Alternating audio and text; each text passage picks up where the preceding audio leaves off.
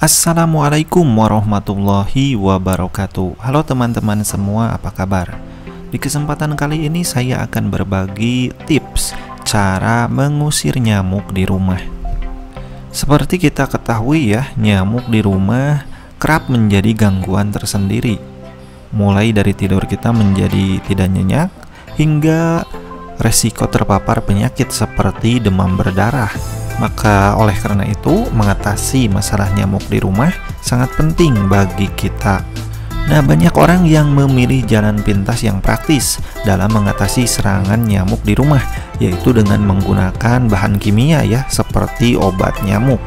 Mulai dari obat nyamuk bakar hingga yang disemprot. Dan juga bisa menggunakan jenis obat nyamuk elektrik. Oke langsung saja pertama-tama kita butuh bahan yang sederhana dan juga banyak di rumah kita yaitu serai. Mungkin teman-teman semua menanamnya sendiri di rumah Atau kalaupun tidak kita bisa membelinya di warung-warung sayur terdekat ataupun di pasar tradisional. Banyak dijual, harganya pun murah. Nah kita akan menggunakan serai ini untuk mengusir nyamuk. Caranya cukup mudah teman-teman. Pertama kita Rebus dulu serainya dengan menggunakan air kira-kira sebanyak 2 gelas ya atau 400 ml.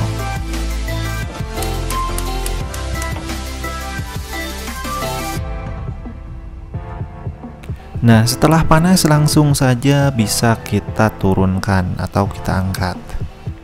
Kemudian kita siapkan gelas secukupnya ataupun bisa menggunakan gelas yang ada pegangannya ya agar lebih mudah karena airnya masih panas hati-hati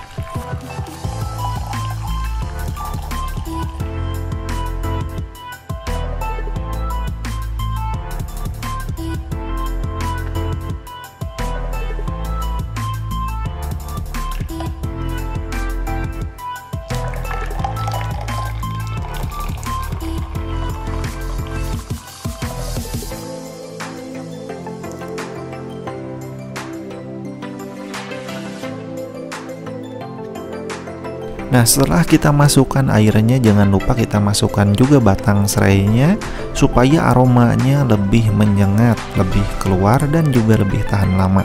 Perlu teman-teman ketahui untuk aroma serai ini sangat tidak disukai oleh nyamuk-nyamuk. Namun bagi kita sebagai manusia justru malah enak ya mempunyai efek menenangkan ketika kita menghirup aroma khas dari serai ini. Saya sendiri pun kurang nyaman ketika menggunakan obat nyamuk elektrik karena baunya ya, baunya yang sangat menyengat dan dalam jangka waktu yang lama sangat tidak baik bagi kesehatan pernapasan kita. Saya pun lebih menyukai cara seperti ini karena enak sekali kita hirup dan rumah jadi bebas dari yang namanya nyamuk. Tidur kita pun bisa pulas, tidak terganggu dengan suara-suara nyamuk yang berkeliaran dan bahkan kita bisa menjauhkan dari yang namanya penyakit demam berdarah. Terlebih saat musim kemarau seperti ini, di mana nyamuk-nyamuk lebih banyak daripada biasanya.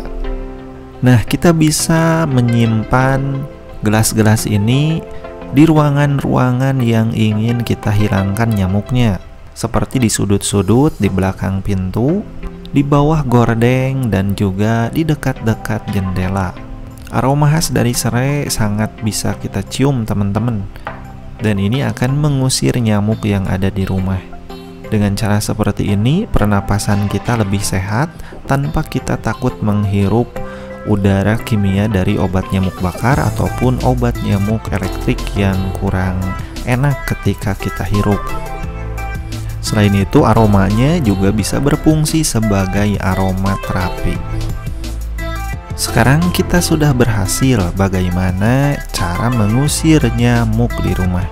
Oke teman-teman, terima kasih sudah menonton bagaimana caranya sangat mudah sekali bukan? Silahkan buat sendiri di rumah.